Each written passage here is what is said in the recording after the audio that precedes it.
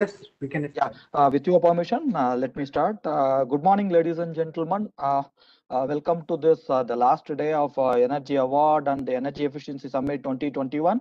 My name is uh, Murali Krishnan. I work with CII as a principal counselor. Uh, so before uh, requesting our uh, uh, respected and uh, senior speakers to uh, start the session, uh, thanks for thanks to all of you for joining us for the last one month. Like India and our culture is famous for festivals. We we we celebrate our festivals in a grand way. So like that, our for our CII and GBC Green Business Center, the August month was a festival month. We had a series of events every week, starting from Sugar Summit, uh, starting from uh, Paper Tech, Power Plant Summit. Now we had a lot of uh, uh, interaction during the last four days uh, as a part of our Energy Award and Energy Summit. Hope all of you enjoyed it.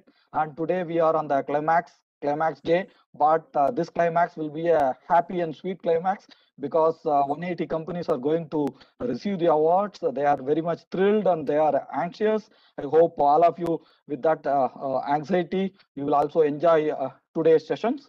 We have uh, uh, our first session discussing on the latest advancements in energy efficient technologies. Any activity, uh, for example, whatever may be the activity, whatever may be the cause, you need always uh, need the patron. We need the supporting organizations who uh, support us. And then uh, we have uh, and Andritz uh, supporting us for this entire month, the Energy Efficiency Summit and then the Energy Award. So we have two great gentlemen from Danfoss and Andritz who will be taking us through the latest technologies. Uh, so uh, with this uh, few words and uh, followed by uh, today's this energy efficient technology session, we have a lot of great people talking to us today. We have our chairman, Mr. Ravichandran Purushothaman, talking on the future of energy efficiency. At 11:30, we have Mr. Garnayak, who is going to help us how accumulation, agglomeration can help us to the, take the energy efficiency and our country to way forward. They have demonstrated it, and he is going to tell about the future plans, what EESL is planning at 12 o'clock. And then uh, we have uh, uh, from ICRA, the, the, the economics point of view, we have a, a master speaker from uh, Mr. uh, Vipin Jindal. And then uh, we also have people from IEA, the head of energy efficiency, Mr. Brian Motherway, going to talk about talk us about what is our future and how IEA can support, what other countries are doing, what we can replicate. Is going to talk about that. Followed by uh, we also have Indian Energy Exchange, who will help us how we can uh, monetize, how we can trade our energy efficiency and renewable energy milestones. That will be at uh, 250. And uh, finally, uh, from World Bank and the US uh, Energy Agency, Mr. Padu S. Padmanabhan is going to help us uh, uh, to talk on uh, the energy efficiency and its future.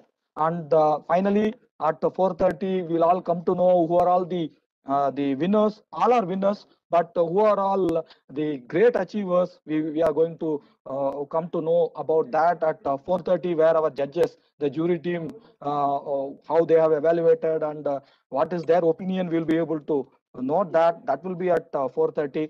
So we have a long day of session, long day session, and then I hope all of you will um, stay with us. And then, as I mentioned, we had a series of events in the last one month. All of that will be uploaded in our website. You can still visit to all the stalls in the exhibition area. Please do that whenever you have free time, and it will be open for a few more days. You can definitely uh, go through it, and then uh, you can interact with us. So, uh, coming back to uh, our session, we have uh, Mr. Sujit Pai, who has decades of experience with the Danfoss and internationally he has worked in other countries. So uh, he is going to uh, take us through uh, engineering a green and energy efficient tomorrow. Over to you, Mr. Sujit Pai, and we look forward to you. Thank you very much. Thank you. Thank you, uh, Murali. So uh, to start off, good morning. Good morning, everyone. And uh, I think there's a quick video we'd like to play. So if you could just play the video and then I can uh, get started with the presentation.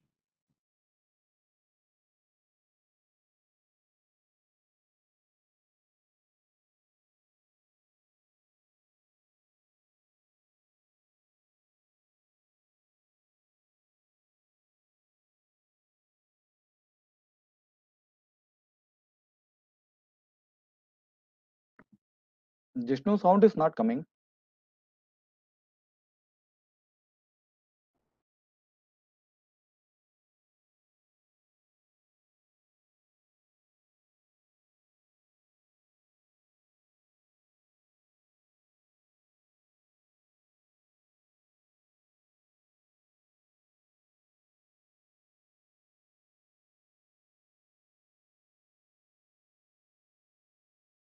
Uh, Let me check that.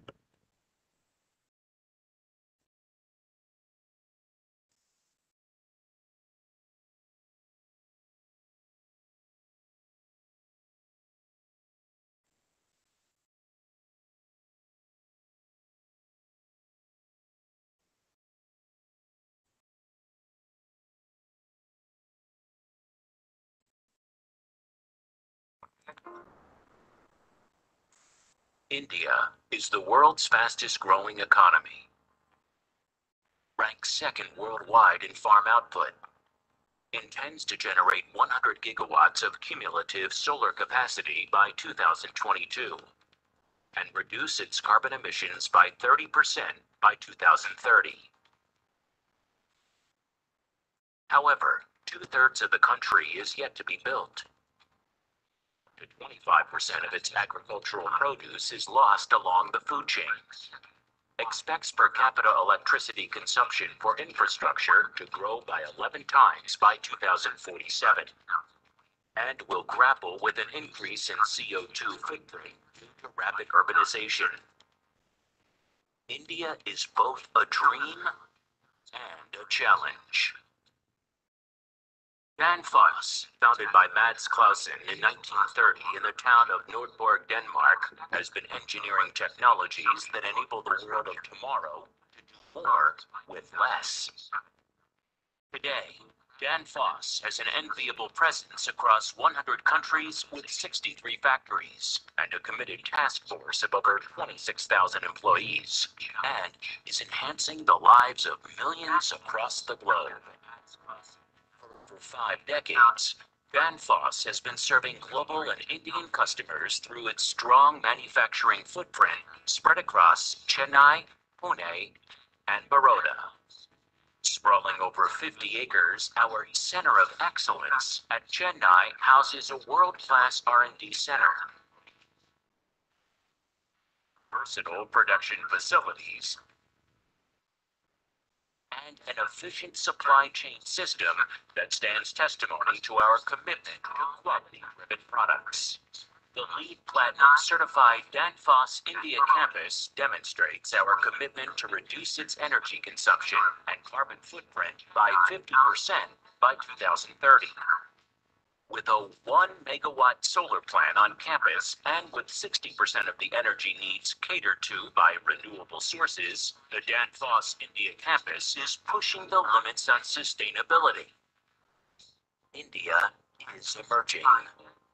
At Danfoss, we engineer technologies that can help India fulfill its potential to become the fulcrum of the global economy enabling sustainable urbanization by creating energy efficient infrastructure, empowering India to become the food basket of the world by transforming food supply and reducing food losses, tackling climate change through technological advancements, creating carbon neutral cities, transforming electrification by powering electric mobility and decentralizing energy storage and transmission.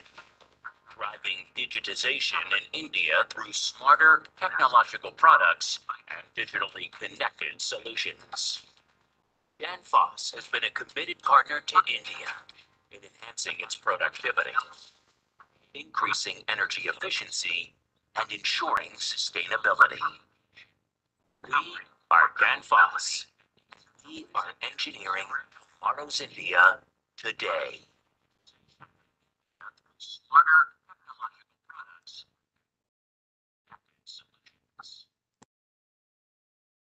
Thank you. Um, can I have control to share my screen, please?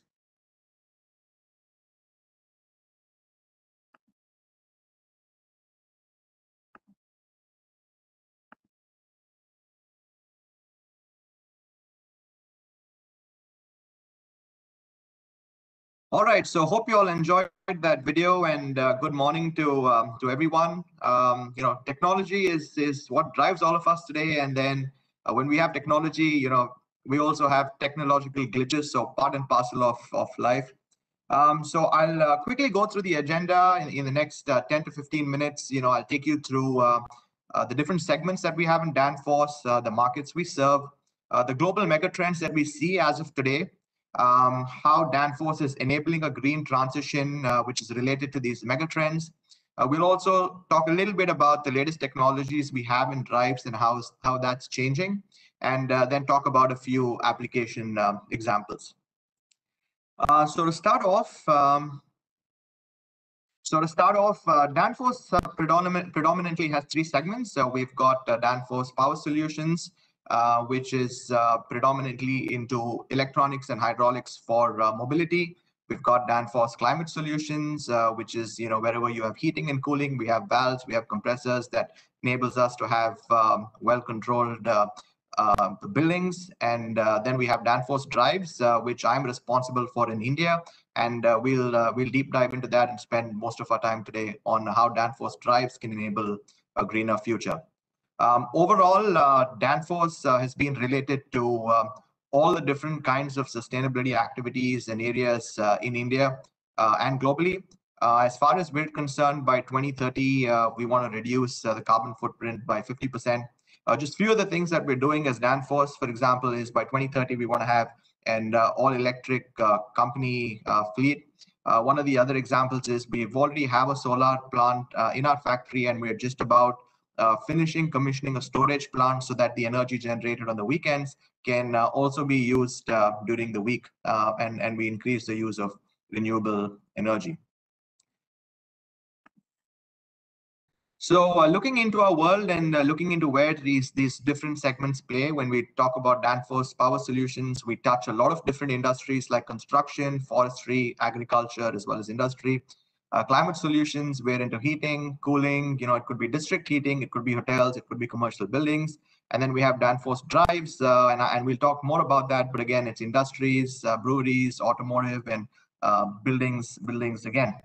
So uh, these are some of the different uh, markets that we serve and if you just take a look at these things so um, basically all the areas of high power consumption today which is commercial buildings which is the heavy industries uh, food and beverage, um, energy, you know, natural resources, uh, residential, marine. So these are some of the areas which are uh, predominantly uh, high energy consuming uh, areas. Uh, but when you look at the global mega trends that we have today, I'll just talk about a few of them. But the first one, of course, is digitalization. And if we think about it, you know, more than 80% of the data has been generated over the last couple of years. Uh, what does digitalization mean for us in terms of everyday life? Um, you know, I'll just give you an example. I was at an airport a couple of weeks back. I realized I didn't have my license. I didn't have an ID. Uh, I wasn't allowed to enter the airport. But, you know, because of M-Aadhaar and uh, because of DigiLocker, I was able to download or uh, get a copy that is officially verifiable by the agencies and I was allowed to get in. And all of that is because of uh, digitalization. So this is a big mega trend a simple thing like Swiggy, you know, simple thing like food delivery, Uber, um, all of these are all possible through digitalization. But what that means is a lot of data, which means a lot more uh, data centers. Uh, talking about electrification, that's the other big mega trend. Uh, we're moving a lot into renewable energy sources. And as we move into renewable energy sources, uh, electric, electricity becomes the biggest uh, uh, form of um, conversion of energy, storage of energy, and transport of energy. If you just think about electric vehicles, on the other hand, um, you know, when Tesla initially came out, uh, EV was a dream. And uh, today you have most of the big uh, companies talk about how by 2025 or by 2030, uh, they're not going to be making IC engines anymore, and they're only going to be making electric vehicles. Uh, urbanization, that's the uh, the other big mega trend that we're seeing. So, um, you know, the population is expected to go up to about 8.6 billion by uh, you know by, by 2030. Uh, today, more than 70% uh, of our energy consumption comes from urban areas. And if you look at 2030, we're expecting about 70% of our population to be living in urban areas. So again, that means a lot more energy consumption than we have today. Uh, the other big mega trend that we're seeing is uh, food. You know, as population goes up, uh, today one of the big issues that we have is one third of our food is wasted. Uh, we're we're still working on that. Uh, I don't think we have a solution there, but what that means for us is as our population grows, you know, we need to increase our food supply. We need to increase food production. That again is a very energy energy intensive process. So all of this, you know, when it comes to digitalization, electrification, urbanization, food supply, all of these big, big mega trends are uh, really leading to an increase in energy consumption. And uh, this, on the other hand, is uh, leading to climate change, which we really want to do something about. Um, if you look at the greenhouse gases, you know, they've increased by more than 50% since 1990. Um, energy efficiency and renewable energy are the only ways we can go to a low carbon world um, we we don't want to, to go back in, in time in terms of development. We want to continue to develop as human beings. We want to continue to stay in comfortable homes, work in comfortable offices. Uh, we want to continue to use uh, digital technologies to make our lives easier. But at the same time, we want to do that in a way where uh, our global warming is limited to 1.5 uh, degrees above pre-industrial times, and that's what the Paris Agreement uh, uh, is. So the question is, how does Danfoss play a role in all of these? And this is where we talk about the green transition. So we spoke about all the megatrends, and when you talk about megatrends, uh, the first uh, image you see on your left is uh, the Shanghai Tower, which is one of the tallest buildings in the world. Um, you know, we've been able to get 40% energy savings there purely by installing 660 Danfoss drives. data centers, the other big one, as we get more and more digital, uh, we're going to have a lot more data centers. Uh, the more we shop online, of course, it's a big convenience, but to be able to shop online, uh, you need to have more and more servers, more and more data, which means, again, more and more servers. And uh, energy savings of 30% is what's been demonstrated using Danfoss uh, drives here. So a uh, few examples here, but again, I won't go through all of them. Um, you know, we've the, the, world's most powerful electric ferry is, is driven by Danfoss drives, which causes about 2,000 tons of uh, carbon dioxide uh, savings. Um, we've got electric buses uh, that we've been able to run, which is 100% carbon reduction. And uh, that's really how we play a role in this green transition. But uh, really, um, what we're trying to say here is in all of these areas which are necessary, uh, which are going to increase based on the global mega trends, we have a lot of potential to actually save energy using our technology. And I'll talk about a few of them in, in, a little more detail. But uh, this one is, you know, big one, uh, one of the world's largest, uh, tallest buildings. And uh, by providing balancing valves, providing drives, uh, we've been able to, to decrease uh, or rather increase energy savings by 40%. Um, U.S. Steel Tower. this is this is a an example that I like to talk about because this is an old building. it's the same building. It was built a long time ago, but what we've been able to do is go and retrofit into that building, go and put on put in drives, and uh, you know that has resulted in a savings of about 1.1 million USD in energy. Uh, of course, uh, cost of energy saving is a good indicator, but uh, really the more cost you save in energy, uh, the more you're making the world uh, sustainable, the more you're helping in terms of carbon dioxide and greenhouse um, gas reduction. Um, data center, the other big one that, uh, that that I talk about because that's the fastest growing right now. And when you look at all data centers, to make sure that the servers work, to make sure that the apps we want to use work when we want to use them, uh, it's essential that these are all air conditioned. And uh, when you when you air condition uh, all of these, uh, then uh, speed control of the AC using our drives helps us save 30% of the energy. typically, what would happen is today again, you know, in people's homes, you hear of inverter ACs but uh, going back in time, ACs would be on off or ACs would be on all the time. And, uh, you know, you would use uh, valves to actually reduce the flow, increase the flow, but the energy consumption would remain the same. Uh, this is where Danfoss drives come in. And uh, what we're able to do is uh, use our drives, control the speed of the AC units, and then actually save energy and um, reduce emissions. So uh, basically, if you look at all the different industries and you look at a lot of applications across them, um, you know, all of these, uh, when you look at the mega trends that we spoke about, be it HVAC, be it food and beverage, you know, water, as population increases, uh, water is a big requirement. Uh, as more and more people need food, refrigeration becomes more and more important. Uh, marine, you know, um, we're all hearing about uh, supply issues. We're all hearing about how long freight takes these days, which is all because of uh, um, the seas and the ships. And again, marine has become a big, big area there, which is going to grow. And uh, all of these areas, all of these industries, you have a lot of different applications where uh, Danfoss can actually come in. Uh, we're not going to have time to go over all of them in detail, but the picture I'd like to show you here just talks about how across these different industries, across these different applications, wherever you have fans, wherever you have motors, wherever you have anything that rotates, uh, drives can come in and make sure that instead of keeping a motor running at the same speed uh, all the time, irrespective of what's required. Uh, we're able to control the speed there. We're able to switch on and switch off when required. Uh, we optimize based on the requirement and the amount of energy saving that we can get through that is just phenomenal. Um, that's the first move that we made, uh, starting as Danfoss drives, where instead of directly controlling a motor uh, as on off, we put a drive and we actually control the speed to save energy as well as have better control of the process. But looking ahead, uh, when you look at the latest technologies that we have, we're looking at two things more and more. One is making the drive itself more powerful, uh, which makes it more intelligent, and then making sure that we use the drive as a sensor. Um, you know, the drive is connected to motors, and uh, that's driving pretty much everything in an industry, in a building, in a HVAC system. And uh, what what the drive can get is current and voltage data, real-time data, and through this data, there are a few things that we can do. The first one, of course, is of course energy saving is is the key here. But as we save energy, one of the other opportunities that we have using drives and the latest technology is making sure that we can also monitor all the applications. We can monitor if there are issues and basically, you know, uh, do predictive maintenance, condition-based monitoring um, without having to wait for a failure to happen. Um, again, that helps in multiple ways because it means that you do not have to have backup capacity installed. That saves energy, that saves money, uh, but also make sure that you have continuous processes going on and uh, no interruptions based on this data that you can get. Uh, the other thing that's more interesting is, uh, and I'll talk about an example of a supermarket um, that, that we have um, where, where we're interchanging the heating and cooling systems. But the other thing we can do using the drive as a sensor is make this drive do more intelligent things.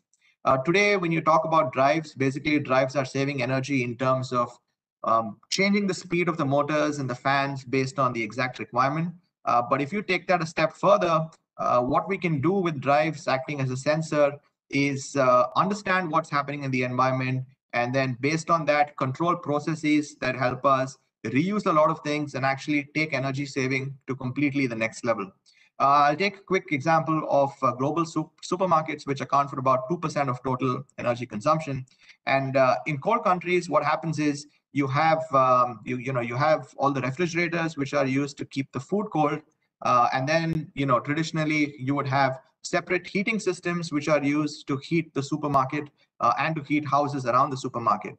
Uh, what we've been able to do um, using, using our intelligent systems uh, and using the existing infrastructure from a heating and cooling perspective is make sure that we use the heat generated from these cooling systems and use that heat to actually heat supermarkets and to heat houses around.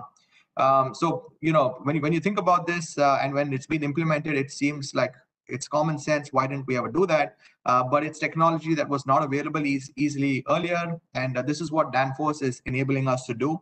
Uh, big, big savings. You know, about 70% uh, of, of the heat generated is uh, reused um, compared to earlier where you would have two complete systems, one to generate heat and one to remove heat. And uh, we were not able to reuse any of this. So, so this is this is the future. Drives getting more and more intelligent you know, uh, controlling bigger processes and not just saving energy on a specific motor or a fan or a blower, but saving energy on a complete application, um, taking in a lot more inputs. Uh, this just gives you an exact, you know, just a schematic when you look at this uh, re retail refrigeration example. Um, you know, you have a smart grid which can uh, give you um, energy efficiency, you have variable, uh, you have uh, variable renewables, uh, you can reduce peak demand, and uh, the results of all of this at the end of the day are, you know, lower carbon dioxide emissions, you have improved energy security, and you have minimized grid and investment. Um, as an example, you know, if you're able to interchange energy between these two systems using intelligent drives, what you can do is make sure that your peak demand is lower, which means your investment in the grid is lower, um, and it also means that your you know emissions at the end go down. So quick example here of of uh, how that can work. Uh, but lots of other examples that we have, uh, and we don't have too much time to get into them. But you know, marine and offshore, which are really increasing in terms of number of applications based on the global megatrends we see. And all of these are areas where Danfoss can actually play a very vital role in terms of helping um, making it a much more energy efficient process and an energy efficient ecosystem. Um, I'll very quickly go through some examples. You know, uh, I'd like to talk a little bit about this because this is here in India where Amul wanted to create uh, a fully automated energy efficient plant and uh, again, this is uh, in Gujarat. Um, we've used uh, drives here. Uh, we've not only been able to completely automate the plant, but we've been able to really reduce energy consumption based on the earlier plants that we had. Water and wastewater, you know, water and wastewater is very important as population goes up. we take it for granted today because we all live in cities where we have water. wastewater goes out of our houses, but there's a lot of process happening at the background and uh, there's a lot of energy that's actually utilized when uh, you have to manage this whole water and wastewater ecosystem. Um, so again, uh, lots of technology that we've implemented here. Uh, you know, uh, Wabag is uh, one of the companies in India, for example, that we work with extensively, where we've done projects to actually reduce the total energy consumption in a water and wastewater plant. Um, again, using drives to to to run the pumps and the motors uh, to actually circulate water and move water from one place to the other. Um, you know, go through the processes of treating the water. So all of these processes, which are typically very energy energy intensive, are now driven by drives, uh, Danfoss drives, which help reduce a lot of the energy uh, consumption. Uh, HVAC is the other big thing. Um, you know, uh, look, you look at uh, all the big infrastructure investments in India today. We've got a lot of new airports. Uh, we've got a lot of new hospitals. We've got a lot of new pharma plants, and all of these need big HVAC systems. And uh, Danfoss drives are used in these HVAC systems to, uh, you know, in the chillers, in um, uh, the AHUs, in the blowers to actually reduce the energy consumption. another example, just to show you how we get involved in the complete project and look at every area of energy conservation um, you know, in the Mumbai International Airport, uh, in addition to doing the HVAC system. If you look at the conveyor, for example, typically uh, the conveyor runs non-stop. Uh, the conveyor uh, uses, you know, chain system and a pulley system, and uh, you have the oil that needs to be changed, you know, very frequently. And what we were able to do is again, uh, Mr. Sujit, yes. sorry for interrupting. You have two more minutes to conclude. Sure, no problem. So uh, using uh, using using uh, drives, we were able to reduce the maintenance because we got rid of chain-driven systems, and we were able to make this uh, completely energy uh, efficient. Um, the other last thing that I want to talk about is, you know, as we get into urbanization, as we look at the growth of India, uh, metros are one of the big solutions to our traffic and decongestion. Uh, we're very proud to say in India that uh, we have a 90% share in all the metros. If you look at the tunnel ventilation fans, if you look at uh, the AHUs, uh, if you look at uh, um, just, just the exhaust recirculation fans used in the metros and the metro stations, uh, drives have been used in all of these metro projects to reduce energy consumption because um, our government wants to do this in a sustainable way as well. So again, big impact from Danfoss here where we're enabling metros, enabling better trans uh, transportation, but we also do that in an energy efficient way. Um, just, you know, very quickly here, heavy industries, cranes and hoists, you know, marine and offshore. Uh, these are the other areas where um, there's a lot of energy consumption in general. And uh, using Danfoss technologies, we make sure that we can continue to do this, continue to develop the world, but do this in a way where you have the least impact on the environment and in certain cases reuse a lot of the energy. So uh, that's us. That's Danfoss. We're engineering tomorrow. Uh, we're looking at uh, how we can make this world a more sustainable place. So um, that was uh, my short overview of what we do, and you know, uh, happy to connect with any of you at any point to answer any questions that you have. Thank you very much. Uh, thank you, Mr. Sujit. Thanks for the excellent presentation. Uh, like uh, Danfoss is there uh, everywhere. Uh, you also covered all the sectors, all the applications with a lot of examples, a lot of savings. Uh, thanks you very much for your time and your presentation. I hope the participants would have got, each one would have got some idea and they will be in touch with you during the exhibition. We will have the question answer. I request all the participants maybe put their questions in the chat box so that the speakers can reply to that directly or we can take it up at the end of the session if we have uh, further time. Thank you, Mr. Uh, Sujit. Now I would request uh, Mr. Praveen, Regional Director from Andritz. All of us carry a pump with us. Our pump is our heart. Like uh, like our body, like all the industries have uh, the pumps are very important. Whether it is building or whether it is home, whether it is industry, whether it is any sector, pumps are important. And we have with us uh, Mr. Praveen, who has more than two decades of experience in pumps. He has been there in all the aspects of the pumps. Uh, Mr. Uh, uh, Praveen, can you please uh, share your screen and then uh, take us through uh, the energy efficient pumping technology, what you have with, to us. And each participant will be very eager to see what they can apply in their own application area or industry. Over to you, Mr. Praveen. Thank you. Thank you. Thank you, sir, for this opportunity to present our uh, company here in Energy Efficiency Summit. Uh, now, today I'm going to talk about the innovative pumping technology for power industry, uh, for uh, industries. And uh, First of all, uh, something about uh, me as uh, already uh, it was introduced. Uh, uh, I work for Andritz Separation and Pump Technology uh, in Chennai, and uh, I have about 20 years of experience in pump and pumping industry. And I'm working uh, for Andritz since last nine years. And throughout the career, I have been to pump industry. Uh, s- now, uh, after me, uh, something about my company from where I belongs to, and uh, I belongs to Andritz Group.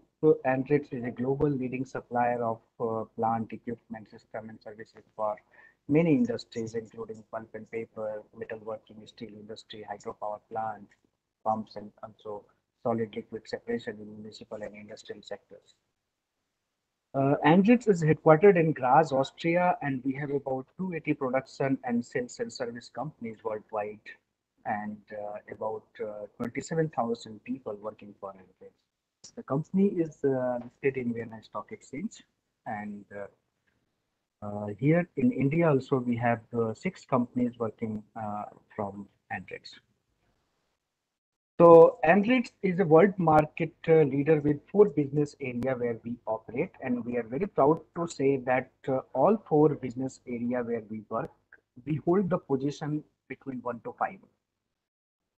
We are active in pulp and paper, where we do complete uh, pulp and paper plant, starting from uh, pulper to finished product, including recovery boiler and uh, non-woven uh, clothes and uh, uh, non-woven industry production sites, and also we do uh, pulp and paper, the complete uh, pollution control uh, equipments like FGD and uh, other environmental services.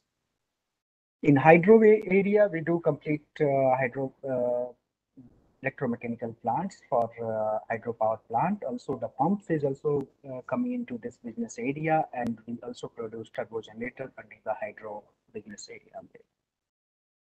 In metal sector, we supply uh, forming metal forming machines uh, like uh, I will give one example. The 95% of uh, Indian coins also printed by Andritz machines in uh, many uh, mints of uh, Indian government.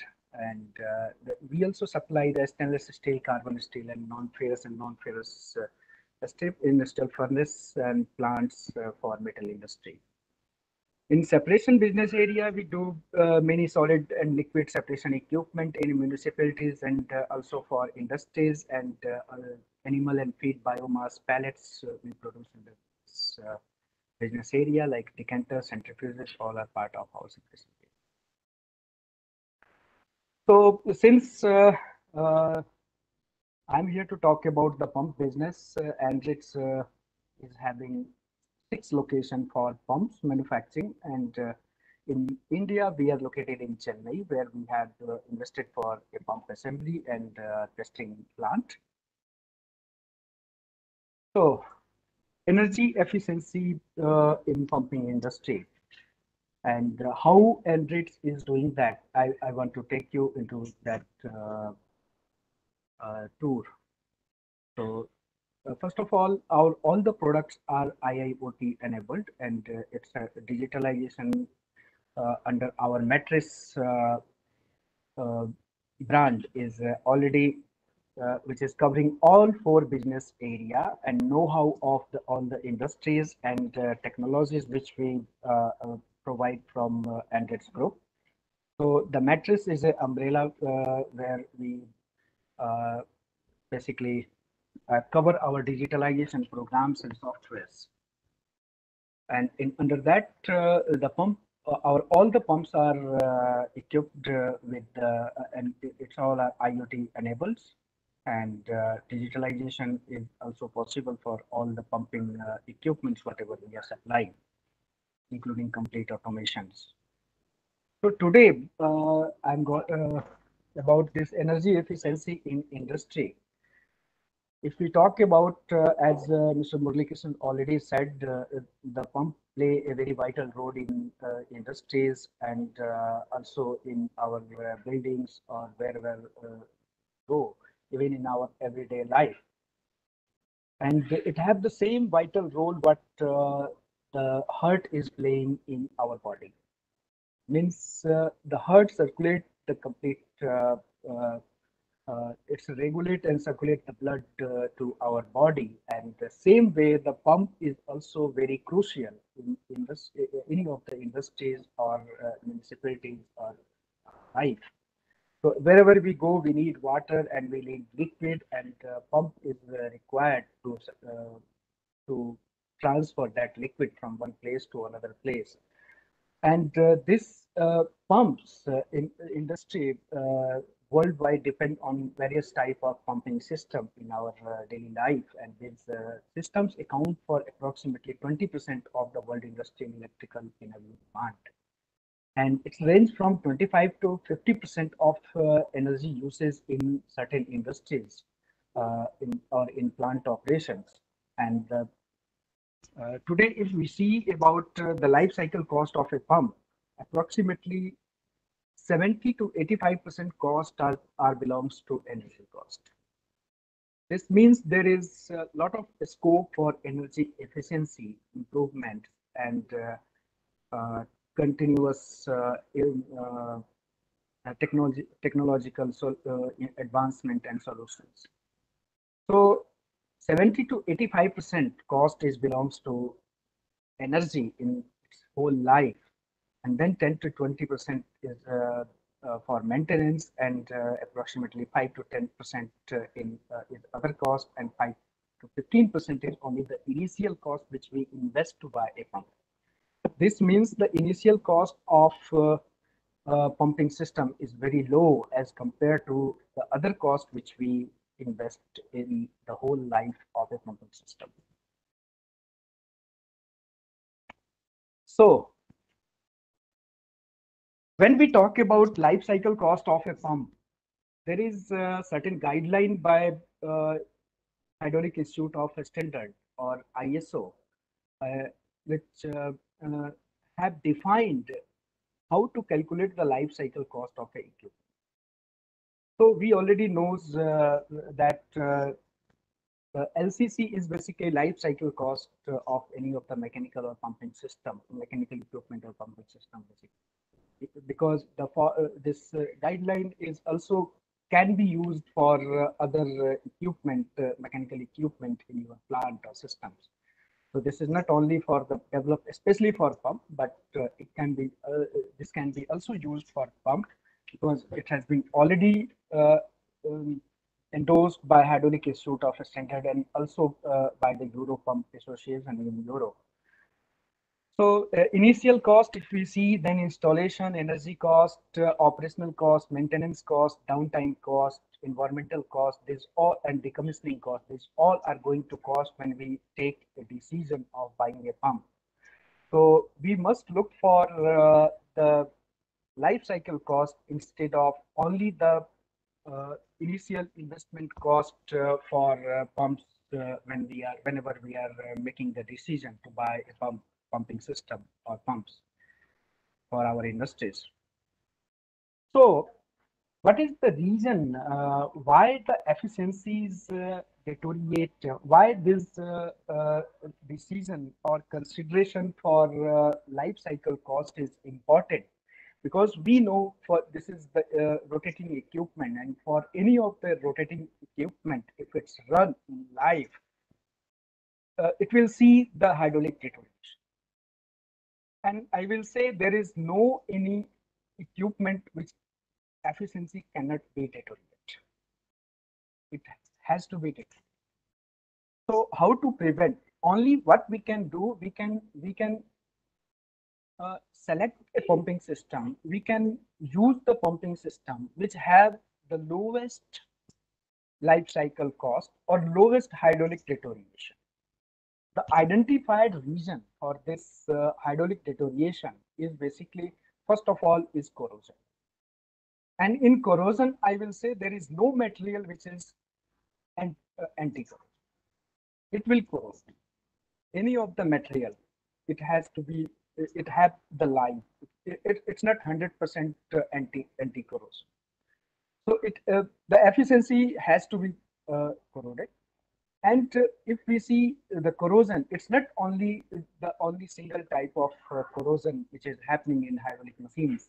It's a, there are a lot of other uh, corrosion uh, like pitting corrosion, we have stress corrosion, we have intergranular corrosion, we have crevice, uh, crevice uh, corrosion, many type of corrosion. And then erosion, erosion of internal clearances. That also deteriorates. Then cavitation, oxidization, increase in surface roughness, then mechanical wear. These all are basically the reason for hydraulic deterioration. And then finally, what happened? The- Over the period when we are buying the new machine, uh, our efficiencies are basically very high. And we can say, we can, uh, we can be very happy that, uh, yeah, we uh, got a machine which have a very high efficiency. But over the period of operation, the performance of uh, the pumps and pumping system deteriorate. This means we cannot 100% prevent, but we can take the measures which can have the lowest efficiency degradation over the period of operation.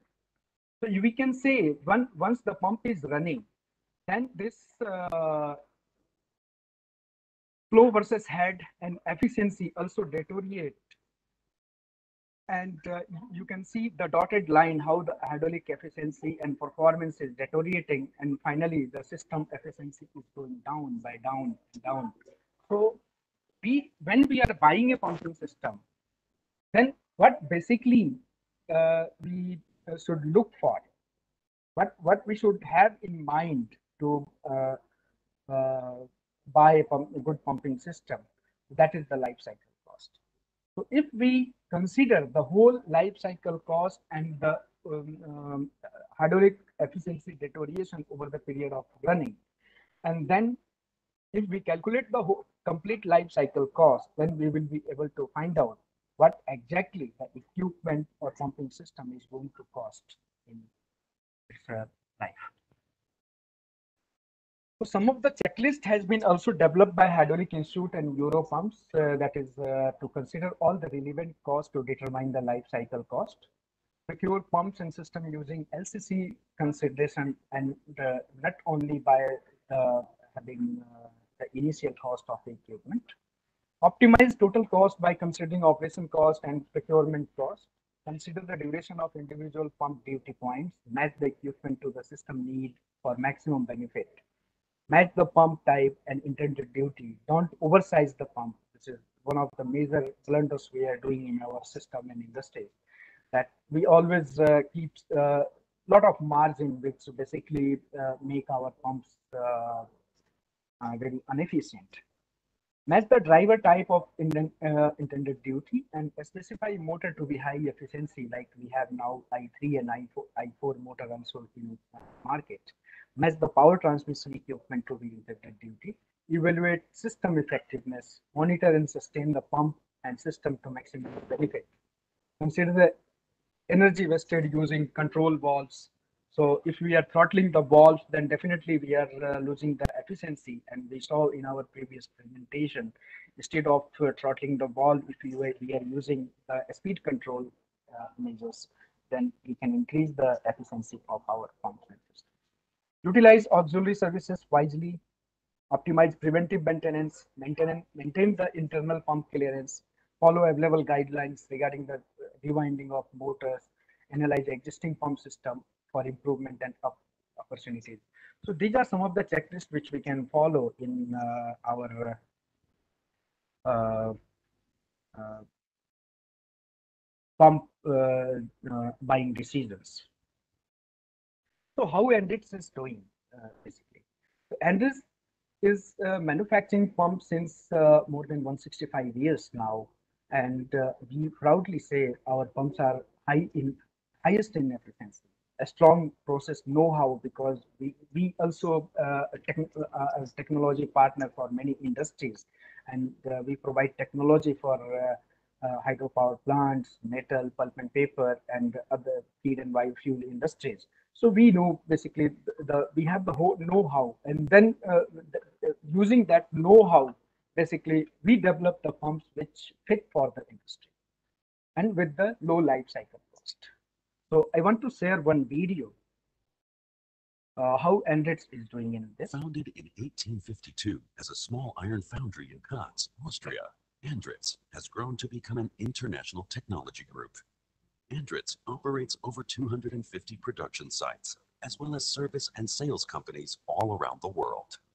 The Andritz Group ranks among the global market leaders in all four of its business areas. For more than a century, Andritz has been engineering and manufacturing centrifugal pumps, gathering extensive experience. Bind the entire value-added chain under one roof, beginning with R&D, then continuing with design, manufacture, project management, installation, and after-sales service.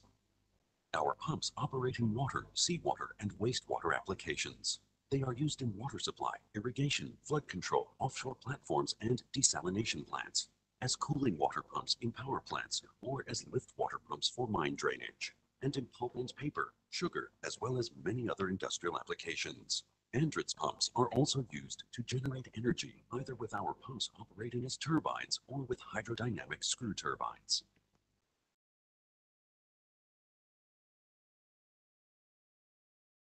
Decades of experience in manufacturing hydraulic machines and full process know-how form the basis for our pump's high performance. We currently develop and test our pumps and turbines at eight locations in Austria, Canada, China, Germany, Finland, and Switzerland.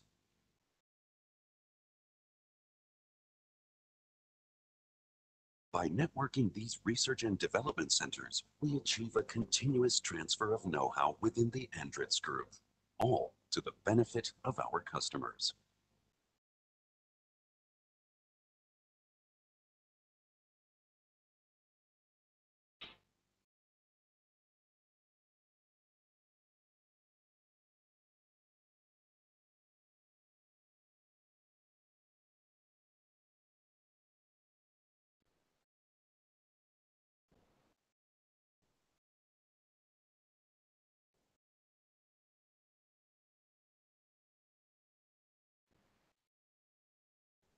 All of our workshops are constantly evaluating and improving their manufacturing processes to ensure short lead times as well as highest quality and reliability for our customers.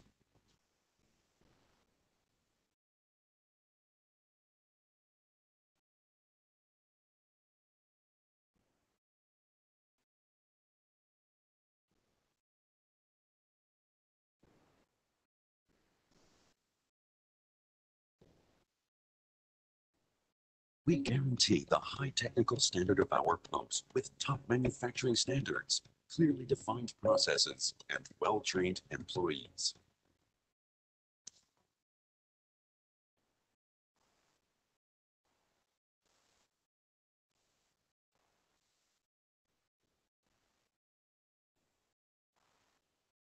quality assurance and process requirements, as well as the quality of the pumps are defined uniformly and implemented worldwide.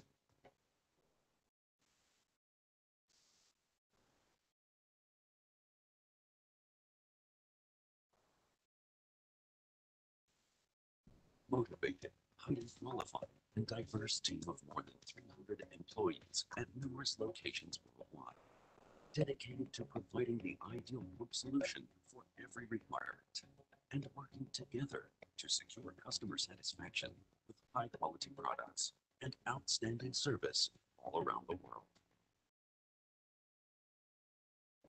For further information, go to andritz.com slash pumps or contact us via email pumps at andritz.com.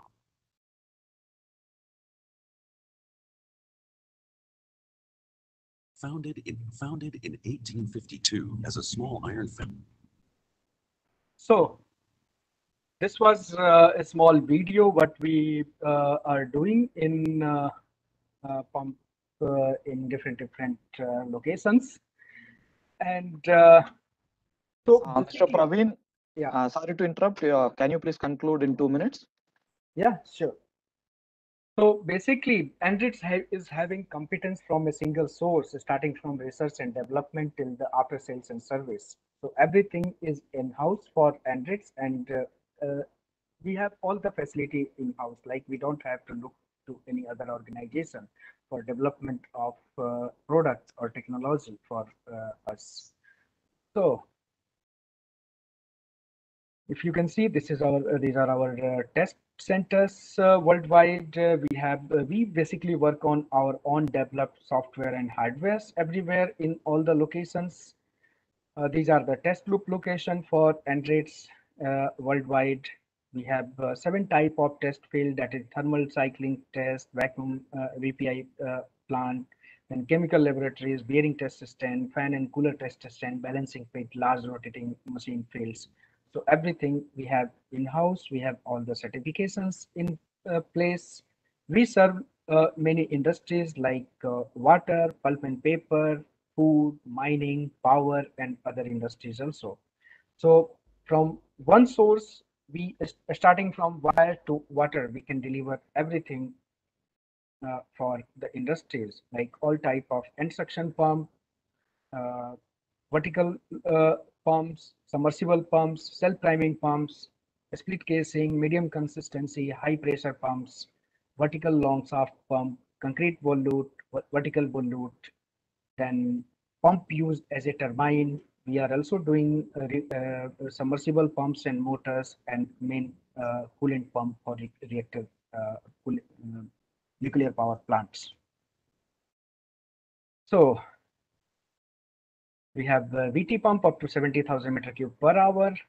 Then we have volute pump up to 100 meter cube per second and up to 140 megawatt. Then uh, concrete volute pump up to 40 meter cube per second. Then vertical, uh, horizontal split casing, multi-stage pump up to 10 meter cube per second and 40 megawatt. Then FGD pumps also and this too. So we have basically big variety of solution to best satisfy our customer need and uh, excellent efficiencies, low energy consumption, good NPSH, lower civil engineering cost, and long time trouble-free operation. So you can see these are our locations in India, and we have many pumps uh, installed in India, uh, starting from one kilowatt, and it goes up to 100 megawatt. Like we have uh, some of the installation in India, which uh, uh like for river water linking and like and also for irrigation sector. One of the very prestigious project is Kaleshwaram, where we have supplied approximately 27 pumps totally now, and like Kaleshwaram one and stage one and stage two, where we delivered uh, Uh, up to 40 megawatt pumps and with the efficiency up to 91.5 percent. So such a high efficiency for pumps and that is also with the low life cycle cost. So thank you very much for your attention and over to you, Mr. Yeah, thank you, Mr. Praveen. Uh, thanks for showing us, uh, taking us through the entire uh, journey of pumps, uh, even showing the checklist and your excellent examples. And uh, the pump efficiency going as high as 91% is a big news, and uh, all of us can learn and then try to adopt your latest energy efficient pumps. Of course, the participants will have a lot of questions, and then they will contact you through directly or through the chat box. So uh, once again, thank you, Mr. Uh, Praveen. So with that, I will uh, just like to uh, present a few slides from our side um, on accelerating industrial energy efficiency. Uh, what are all the new things that can be done across the industry? We just wanted to cover. The agenda will be, I will not repeat uh, what our uh, previous speakers said on the importance of low carbon growth. And then uh, that can be achieved by voluntary initiatives, benchmarking, electrification, ESCO and PRSF, and then uh, the supply chain initiatives, and then a few slides on our activities. What are all the current uh, new opportunities we want to work with the industry and uh, what we can uh, uh, act as a facilitator or a catalyst. Like our our uh, country and the civilization has been uh, has been uh, uh, very long and then uh, still it is very dynamic. Even thousand years before we were attracting uh, everybody to our country. Even today uh, india is the biggest market. Everybody is looking forward to india as a big market. So as uh, as similar as our energy consumption levels are we account for uh, 6% of the total total energy. Let me get the pointer. Yeah and uh, it is expected to increase by 11% by 2040 so energy is vital uh, for development and uh, uh, prosperity of any economy. Of course uh, uh, we are in growing stage. We are in dynamic stage. And we have a lot of potential to improve further.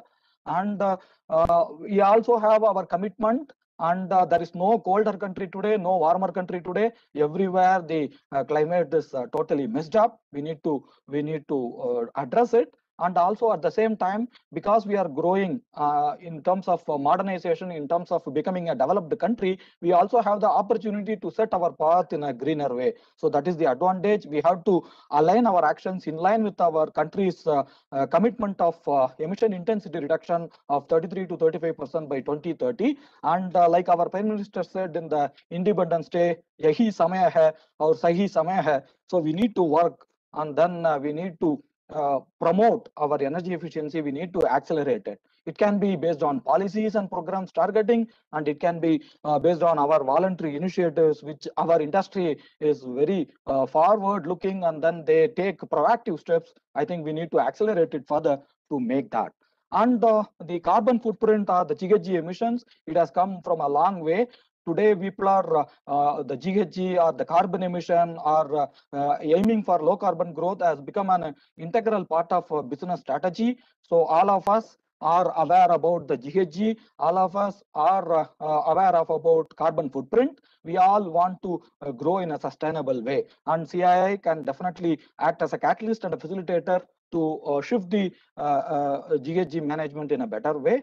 And then uh, we also have uh, the push and pull strategy. There are uh, government, private complementing each other. There are a lot of regulations coming up. And at the same time, as I mentioned, our industry is also well prepared and they are doing a lot of initiatives, either whether it is EP100 or RE100. We have examples and then uh, we have uh, the the systems and recognition we have our energy efficiency roadmaps we have uh, the benchmarking and tools these are the various voluntary initiatives our industry is uh, taking up to uh, to move towards uh, low carbon growth or move towards net zero or carbon neutral. So this can be achieved in many ways one the first fundamental step is uh, GK, GHG accounting. Almost all the companies uh, present here, uh, presented uh, during the energy award, they have done this accounting. But if any of you are yet to start, please do start and you please involve, uh, we should involve our supply chain to take them along with us so that we become globally competitive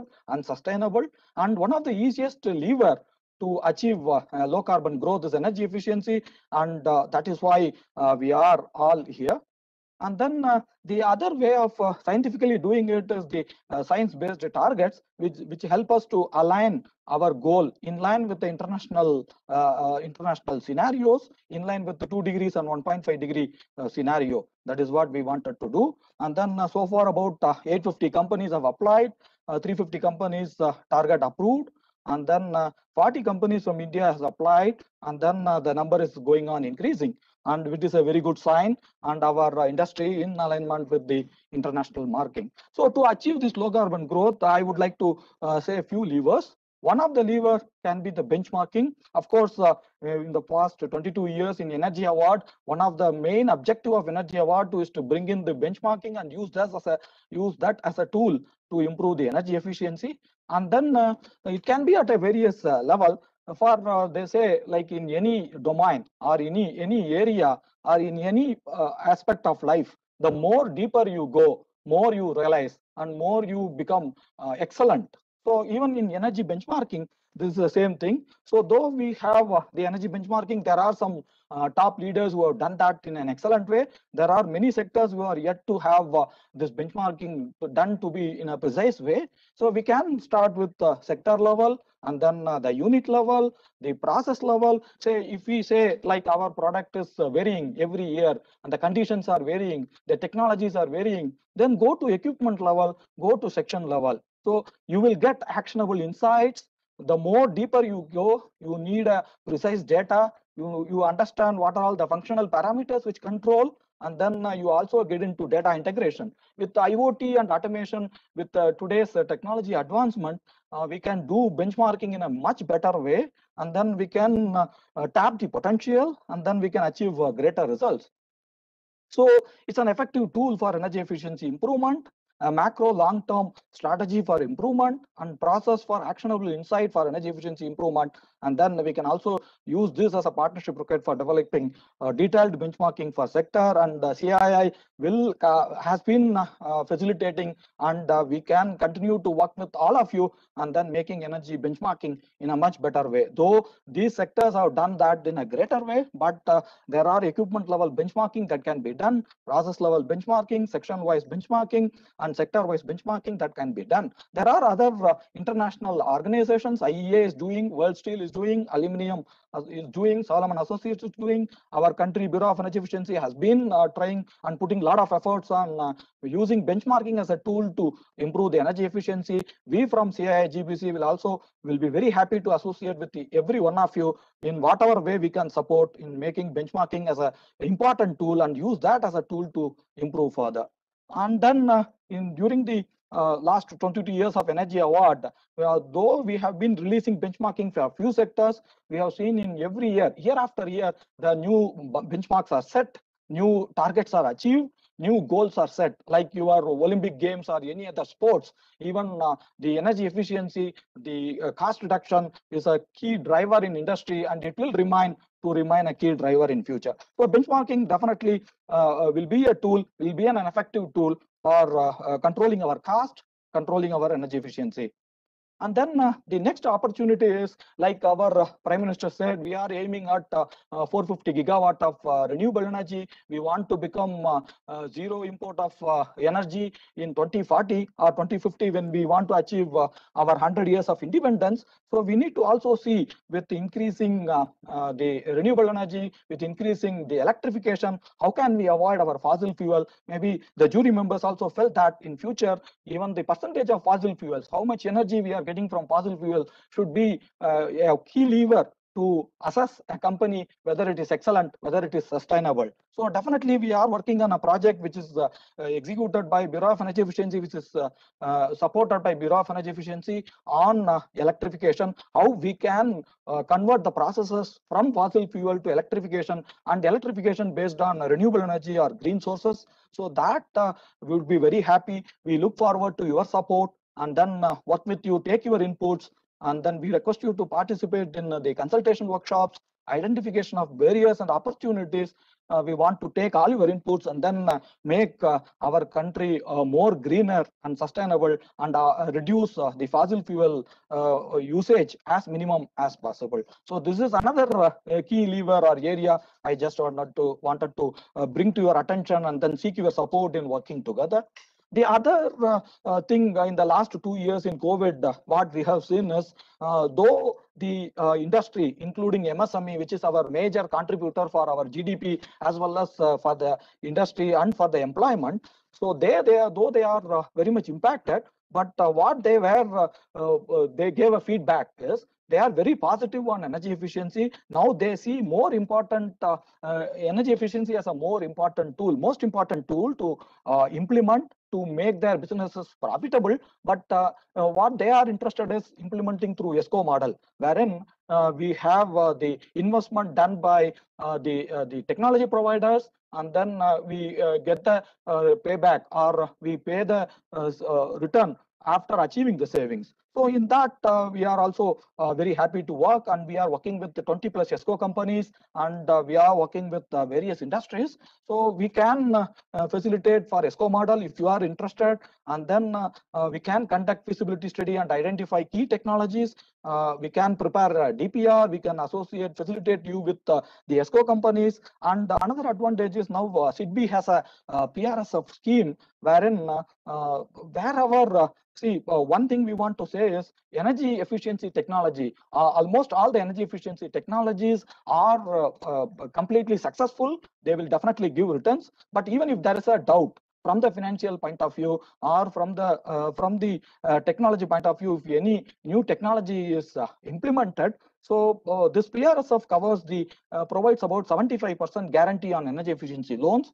And then it gives the confidence to the financial institution who is supporting us the energy efficiency project we all of all of us know that in few countries like china the esco is a very great success. And uh, i think we should also start at the uh, same phase level. We should accelerate this and the CII can facilitate act as a catalyst in promoting this. In the last few months uh, we have aggregated more than 35 projects uh, close to about uh, 45 crores of investment.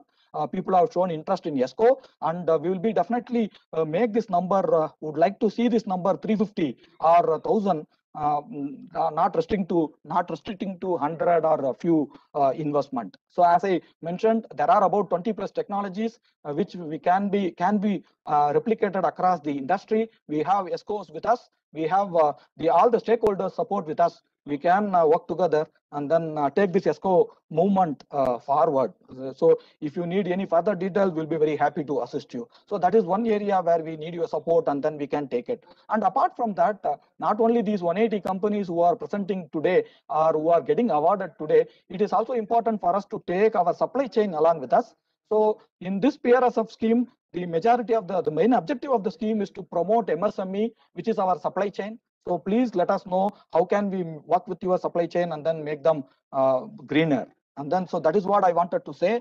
So the supply chain is very important. We need to uh, grow together. We need to uh, share our best practices with everybody. And then we need, we are again um, uh, interested or we can facilitate the capacity building of your supply chain. Feasibility study can be conducted. The pilot installations can be done at free of cost.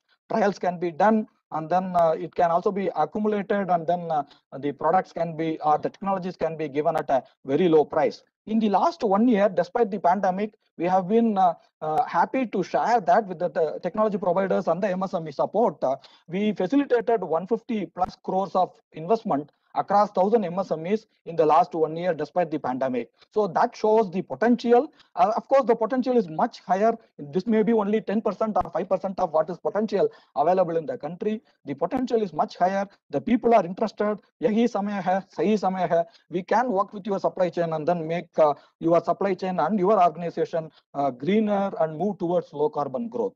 And uh, uh, to take few slides on our activities so if you want to make your uh, working place your colonies your uh, uh, uh, your uh, area greener our igbc is there we can make you greener. And then uh, if you want to work uh, our all our activities in our organization to move towards a greener and sustainable way the green co company rating is there. If you want to differentiate your product uh, when you want to uh, present it to the customers or stakeholders, GreenPro certification can make you to help to differentiate your product in a greener way. And of course, uh, we will continue to work with energy efficiency because energy is our uh, driving force. So that's why in our culture, we promote Shakti more than uh, Shiva. And uh, we have a lot of uh, several initiatives. I would like to highlight only one or two. Uh, please be in touch with us. Anytime you need any support, we'll be very happy to work with you and then provide you support. Now people are using carbon footprint and the LCA as a tool for taking decisions to uh, uh, target the business strategy and then uh, move forward. We can definitely support you in arriving at the low carbon growth, developing a roadmap, and then help us to, to take through LCA. That can be done. See, generally, any new technology, the two challenges they face is one is the reference or example, second is the initial investment support. So uh, UNIDO is implementing a program called uh, FLCTD, facilitating low carbon technology deployment program, uh, along with the support of Bureau of Energy Efficiency. They want to uh, bring in 200 uh, new technologies, innovative, energy efficient technologies, and get deployed across the country. We are part of this project. We got the opportunity to work in this project. And so far, more than uh, 40 technologies have been implemented, tested, uh, starting from uh, uh, ice freezer to waste heat recovery in a cement plant.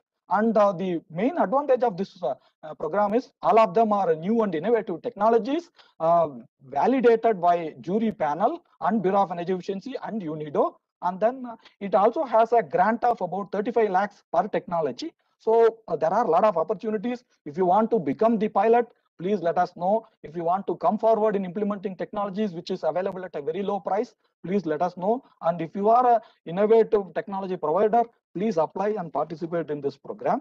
The other one is uh, uh, similarly, we have about 30 plus companies who are having uh, a lot of products, a lot of innovative products, which can be implemented across the industry through our ACE program. So that also can be done. And then uh, we do facilitate uh, technology transfer among the countries, between the countries. So that is also another area. So we have a lot of technologies from Sweden. So if you are interested, we can support you in implementing this.